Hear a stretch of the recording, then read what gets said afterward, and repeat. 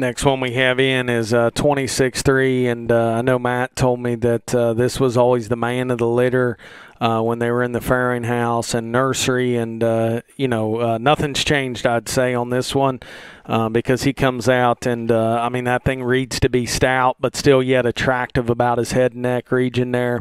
That barrow has got good length to his hip, good tail set in that particular barrow, and like all these in this litter, they open up so good in terms of just their chest and width coming and going.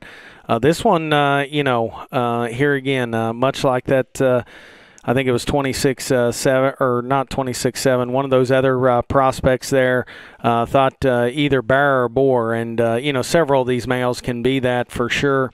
Um, but this is one I like a great deal in terms of just having that extra power. And as you study these guys that are sorting them, um, that's one way to do it is, is to sort them by power, uh, but yet these things still have presence, look, build, balance.